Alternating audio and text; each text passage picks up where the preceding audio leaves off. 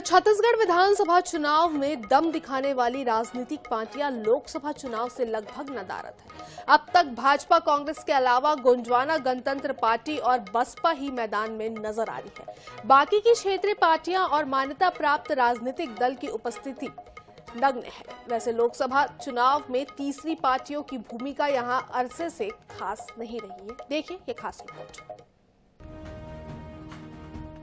लोकसभा चुनाव के लिए भाजपा और कांग्रेस ने सभी सीटों पर अपने उम्मीदवार घोषित कर दिए हैं। वहीं गोंडवाना गणतंत्र पार्टी ने 10 सीटों पर चुनाव लड़ने का ऐलान किया है। तो बहुजन समाज पार्टी ने भी जांजगीर के अलावा बस्तर सीट के लिए ही प्रत्याशी घोषित किया है।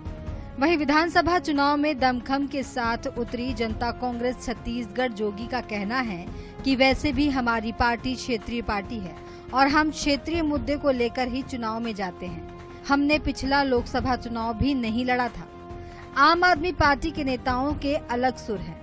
आपका कहना है कि छत्तीसगढ़ में फ़िलहाल हम चुनाव नहीं लड़ रहे हैं। हम देश हित में इंडिया गठबंधन का हिस्सा हैं। इसके अलावा एनसीपी, सीपीआई सहित दूसरे दल भी लोकसभा चुनाव से दूरी बनाए दिख रहे हैं। और आगामी लोकसभा चुनाव को लेकर के हम रणनीति बनाएँगे। माननीय रेणु जोगी जी के और अमित जोगी जी की उपस्थिति में कोर कमेटी के सदस्य उपस्थित होकर के आगामी लोकसभा चुनाव करके रणनीति बनाई जाएगी।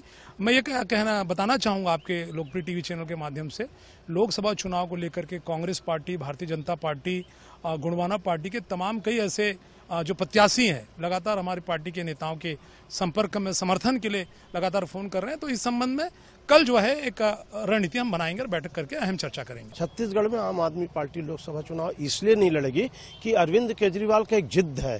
कि जब तक के ईवीएम मशीन है, मने नरेंद्र मोदी और भाजपा है तो चुनाव छत्तीसगढ़ में तो कम से कम नहीं लड़ेंगे। तो जो हमारा हाईकमांड बोलेगा, अभी हमारा एक सूत्री कार्यक्रम है, भाजपा हटाओ, देश बचाओ, भ्रष्टाचार हटाओ छत्तीसगढ़ और देश की जनता को कर्ज मुक्त करो। माना जा रहा है कि तीन महीने पहले छत्तीसगढ़ में कांग्रेस सहित सभी दलों की जो दुर्गति विधानसभा चुनाव में हुई है, उसका इम्पैक्ट अब भी बना हुआ है। और यही कारण है कि प्रदेश में लोकसभा चुनाव लड़ने से तीसरे मोर्चे के सभी राजनीतिक और क्षेत्रीय दल परहेज कर रहे हैं। रायपुर से आई एन एच ट्वेंटी के लिए मनोज नायक की रिपोर्ट।